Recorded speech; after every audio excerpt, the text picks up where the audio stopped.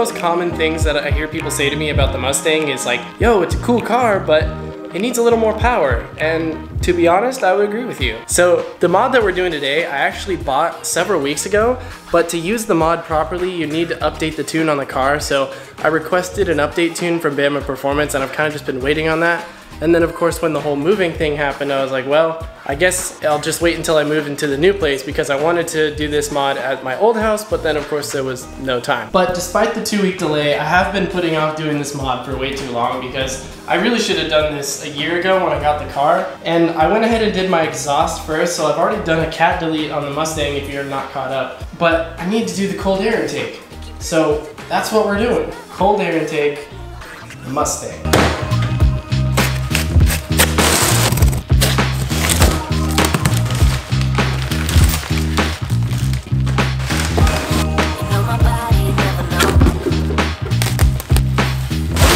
Alright, so the cold air intake kit that I've decided to run is the Roush kit. There's no real reason in particular for that. I know that a lot of people run JLT, and I like the JLT one, but I also really like quality of Roush. I know that they always make good products for the Mustang. And I'm also running a Roush exhaust, so I just kind of found it fitting to go with the Roush instead of JLT, but I'm sure that both of these options work fine. So we're gonna assemble this in just a little bit, but we need to start by removing the factory air intake, so I'm gonna get going on that.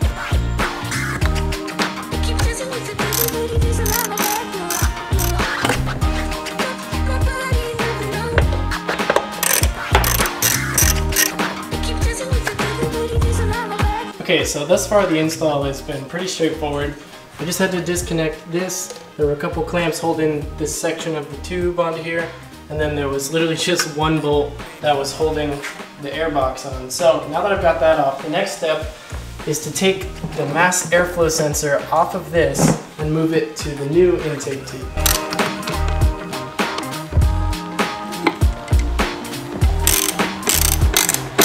Okay, something I think I should mention is that this cold air intake comes with a, uh, a little insert tube and what this is for is for like if you're running the car without a tune or it's tuned to run with the factory intake, you can still run this cold air intake setup with this insert inside of the, um, the intake tube and what it does is it just limits the amount of air that can come into the engine and so that way it would run like it would from factory. But I have a tune for the car to run with the uh, the performance intake setup so I'm not going to be running this insert as for the rest of this install things should be pretty straightforward so let me show you what I'm looking at here this new airbox uses one aluminum spacer and then all the factory hardware from the old box and it just kind of sits right here I have to take that bolt out and it'll go through this hole and then I'll just kind of slot in the new pieces here. This will go kind of in this guy.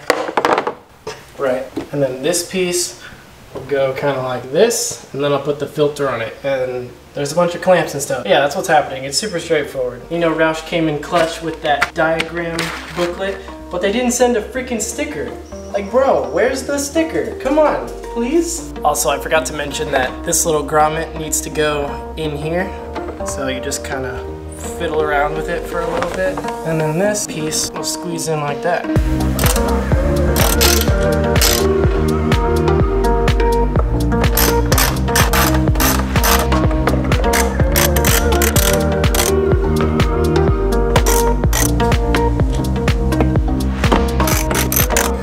Okay boys, so we're almost done with the rest of this install. So the last thing there is to do is I need to finish taking the rest of this off because as you can see, it's not quite long enough. It doesn't quite reach the end of this, but Roush included a new hose in the kit. So I just have to take this off, use these little ends with the green whatever's on them, and then I'll put these into the new hose and I'll attach it onto here. Oh, and I still have to put the new filter on. I, I haven't done that yet.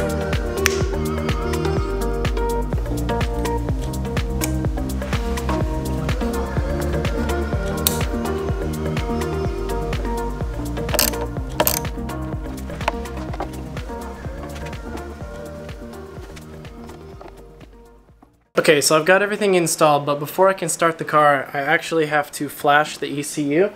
A lot of people have questions about tunes and how they work, so I'm going to quickly show you guys how I uploaded the tune that I requested from Bama onto my tuning device. So I've made a video about tuning before, but this is completely different depending on what type of car you have and stuff, so I'm just going to show you how I do it for the Mustang, but I think it's even different for the newer Mustangs, so like this may or may not pertain to you, but I think it's still useful information. So I went to Bama's website and I logged into my account and I just gave them all the information about my car, and then they sent me this update tune. So they send you an email and they say like, like, hi, Kaidan, Sean from Bama, blah, blah, blah, blah, blah. Shout out to you, Sean. And then they send you the tunes that you requested based on the mods that you've installed. So I have an 87 performance tune and a 91 race tune. So in Oregon, we can't buy 93 octane gas. We can only get 92. And so the way that it works is that there's no option for a 92 tune, but you just request what's lower. So if you have 92 gas, you'll need the 91 tune. But if you're running 87, you can use the 87 tune. The only catch is that if you upload the 91 91 tune, you can't run 87 gas. So if you're gonna run the performance tune, you have to run premium gas. For now, I'm just gonna upload the 87 tune so that way I can run regular. And then if I feel like bumping it up to the performance tune, then I'll do that. But I've downloaded these two tunes down here, so I'm just gonna drag them over to the desktop real quick and then I'll continue from there. All right, so this software here is the software that comes with the device. So this is just like the tuner updater software, whatever. And so what you do is you plug in your tuner. This is mine. And so you just plug that into the computer. Then you're just gonna wanna click automatically check for updates. It's gonna gather some device information and then you just wanna click update device. Okay, so the update is taking a long time, so I'll just update you when it's done. okay, there we have it. So the device is up to date now. So now I should be able to load custom tune file. Okay, so I did a little test run of this to make sure that I knew how to do it right. So basically, you just go and you browse through the files and then you click open. So then that puts it right here in available tunes and then you just click it you click add to device. So now I have the 87 performance tune and the 91 race tune. So then I'll just click program and then it programs the device slowly. There we go. And then we're good. So now I have these two tunes loaded onto the tuner. So now I should be able to just take this back to the car, plug it in, and then go from there. Also, as I was trying to record this, Taylor started freaking out about his freaking Because the frog killed another, uh, one of the fish. Well, good luck with that. All right, so now that we're in the car, we're gonna go ahead and plug in the tuner to the car itself. So the tuner came with this little OBD cord thing. It plugs in down under the dash. Yours might be in a different spot, I don't know, but then it'll just plug into the top of this guy. All right, so then the screen comes, screen? The screen comes on. We're just gonna go ahead and click program vehicle, and then it'll tell you that it's illegal in California. So if you're in California, make sure you don't break the law, okay? All right, so now we're gonna turn key on, press continue. It's gonna process some data. Now we're gonna select this one. So I'm gonna go ahead and click the performance one because I have 87 in the tank right now. I might go to the 91. I'm not quite sure yet, but we're going with the 87 right now. And then it just gives you some parameters that it does. So we're just gonna go ahead and click approve. Then we'll just press continue. Then it says to turn the key off. Now it says to turn the key back on. So then it saves the stock data. Oh my god, stop dinging, please. Okay, so then it saved the stock data, so that way you can revert it back to stock at a later point. And then once it saves the stock data, then it'll upload the new tune, and then hopefully this will start. I gave him all the parameters, so if I get a check engine light, I'm gonna be upset. Also, for anybody that hasn't been following the channel, this car has a cat delete with an off-road X-pipe, and then now I have the cold air intake. So last time when I got it tuned, I didn't have the cold air intake, I just had the cat delete. And I still got to check engine light for catalytic system malfunction. So I, the reason why that is, is because when you get a cat delete, you're supposed to get the rear O2 sensors turned off because pretty much the only purpose of the rear O2 sensors is just to tell the computer that the that the catalytic converter is working. And so what you do is you turn off the rear O2 sensors and then you won't get the check engine light. Either that or like I know some people use spacers for their O2 sensors and things like that. But they should be able to tune it out when you request it, but I don't think that they turned off the O2 sensors with my last tune. So I had to check engine light for that, but hopefully they got everything right with this. I went ahead and told them all the new stuff and I told them that last time I had to check engine light and so the guy was really understanding. I think that might have been why it took a little bit longer to get the tune. But uh, yeah, that's where I'm at with it. Hopefully there's no check engine light. It saved all the stock data. So now it's just programming the ECU. Also, there's a bunch of just like crazy messages on the dash over there. Don't worry about that. That's fine. That one's actually kind of true. My fuel level is low, but there's not an odometer error. It's just because you're tuning it and it's going through all the system processes. So this just takes a minute. Some of the lights over here, you'll see like the wrench light and the, the spooky ghost light. Don't worry about any of those lights. They're just on temporarily because it's tuning it, I guess. I mean, a lot of people say Bama sucks and I think they're okay. Or I'm not sure about their race tunes yet because I've only used the like 87 performance tunes. Um, I think if I wanted a perform or a race tune, I would probably go and put the car in a dyno just because I don't trust. I have horrible trust issues. I'd rather spend more money and have it done like by like I'm not saying that Bama's not professional, but I'd rather have it done specific to this car because the reality is that every car is different. They wear in slightly differently and they show different numbers on dynos and no two cars are identical once they've been driven for any amount of time. So that's just one thing to keep in mind. Bama's a good thing for like a basic tune with just basic mod setups, but if you're doing anything big or you really want like a super fast tune, probably wouldn't do Bama just with from my experience. But I mean, I'm a college kid, you know, I'm just having fun with this, so this works for me. All right, so hopefully the car starts. Also, there's like some people over there. And this car is very loud, so I hope I don't like disrupt whatever they're doing, but here goes nothing.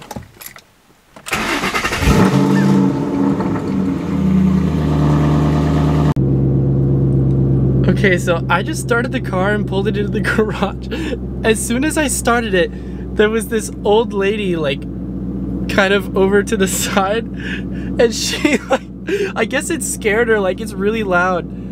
Oh my god, I'm a terrible person. That I feel terrible. But the car's running it worked fine. So it seems to be idling good. I'm gonna let it warm up a little bit and then I'm also gonna pop the hood and check every connection again just one last time to make sure that nothing went wrong. But yeah, that's exciting. I'm really glad that nothing happened. The next day. Okay, so it's the next day right now, and so last night after I got the tune uploaded, I just went on a test drive to make sure that the car was functioning, but I didn't really record anything because I was losing daylight and the footage just wouldn't have been very good. I did a couple pulls, and to be honest, like the car feels a little bit quicker. This isn't a mod that's gonna make the car insanely fast or anything, but the most important thing that I think I noticed is that the power band just across the board is a whole lot smoother. When I was running the stock intake, it was kind of boggy down below, and then it would pull pretty good and then at the top end it would just kind of droop. It was just it was just garbage on the top end. But now I notice that the torque curve is a lot more linear. I noticed that as the car is accelerating it feels like it's actually going faster. And I've noticed a little bit of power on the top end. It seems to pull a little bit harder all the way up to redline I also noticed that when I had the catless exhaust with the stock intake I was averaging about 16 miles per gallon. And when I went on my test drive last night I got the car to average about 20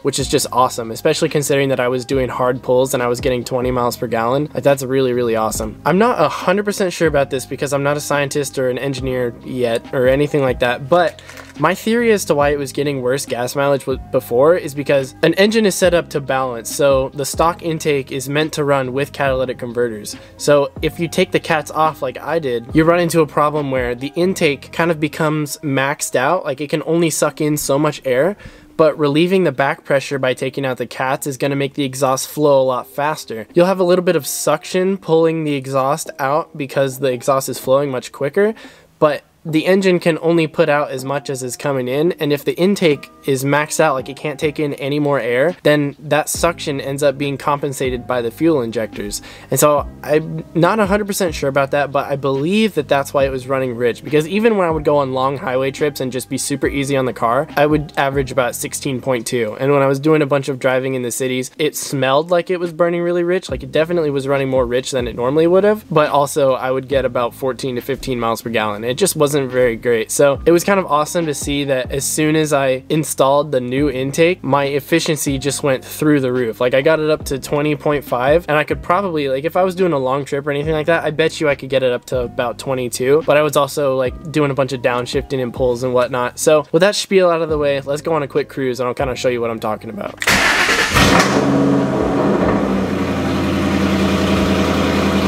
Yeah, so just sitting at idle it says I have 19.5 average. Obviously at idle, that'll go down a little bit because idling isn't very efficient. But when I'm on the road, it's definitely better.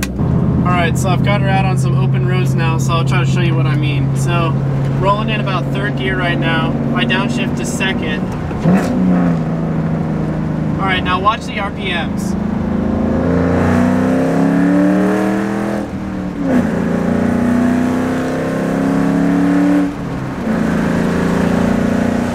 So overall, the car is just running a whole lot smoother, and the downshifts are like super crispy.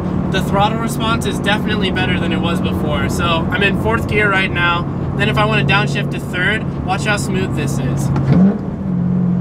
Just like immediate pedal response, which is just awesome. I think that's one thing that Bama does really well with their tunes is even though it might not maximize power or anything like that, they do a super good job of dialing in the throttle response because this car with the downshifts is just super crisp. You always know where the throttle is going to be after the tune, and it's been really awesome to drive. Oh.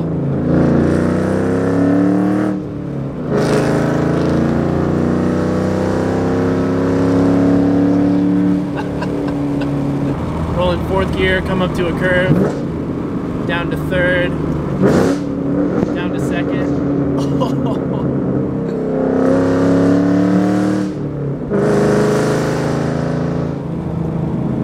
so smooth. And I'm not saying that this Bama tune is perfect because I think Bama tunes are far from perfect. But for what it is, I mean, you pay about 400 to 450, 450 bucks. You get the tuner, and then you get free update tunes for life. It's certainly a much cheaper route than getting a dyno tune. Obviously, to finish the bolt-on build with the catless exhaust and the cold air intake, getting it dyno tuned and really making it perfect at every single RPM would be amazing. But I mean, I'm a broke college kid, and for me, like, this works really well. So, are cold air intakes worth it? I think so. I definitely think that it helps. Also, the boost in efficiency and throttle response is super, super nice. Granted, I don't think that it would have that effect if the car wasn't tuned. I think that having the tune is almost more important than the cold air intake. But having the catless exhaust and the cold air intake gets so much better performance once you add the tune. So if you're gonna run cold a cold air intake, I would highly, highly recommend getting the tune for it as well. Because without the tune, I just don't think that it's really worth it. And if you, like if your cold air intake has the little cutout like mine does, I don't really think there's any point in running it. I kind of, because it would make it function just like stock. But at the same time, without the tune, you're not really supposed to remove that cutout. It might help the engine breathe a little bit better, but at the same time, if you're running cats, the engine is just gonna end up running lean.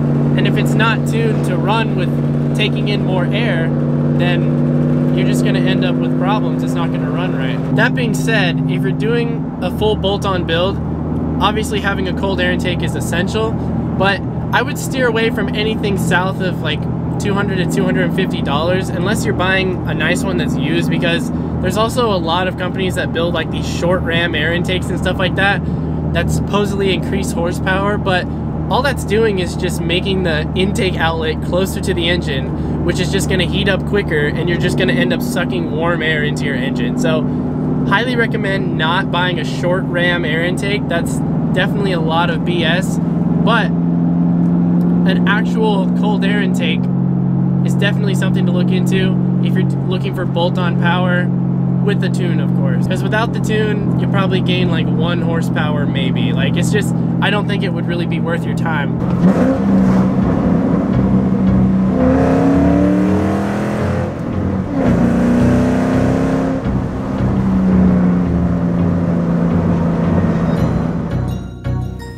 It's kind of a weird shot but we're gonna roll with it. So that's gonna wrap up my video about the cold air intake. It's definitely a cool mod that I think is worthwhile with some other supporting mods, but I wouldn't really recommend it as like a first mod. I think that if you were to drop $300 on something and it's just for the cold air intake and you don't have a tune or exhaust or anything, I would probably just stick to like some aesthetic type mods, get some cool stripes or something like that. But when you are ready to do like a full power build on a car or anything like that, it's definitely a must. Um, it does improve the throttle response and the top end power is definitely worthwhile. It also kind of affects the tone a little bit, which I didn't really talk much about in this video. Maybe I'll make another video about that at some point. But if you like today's video, make sure you leave a like down below. Consider subscribing for more car content, and I'll see you guys in the next one. Peace out, and dream big.